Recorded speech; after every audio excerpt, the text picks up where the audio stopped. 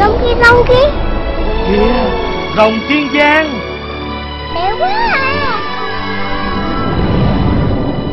Ngân hàng Kiên Long sẵn lòng chia sẻ.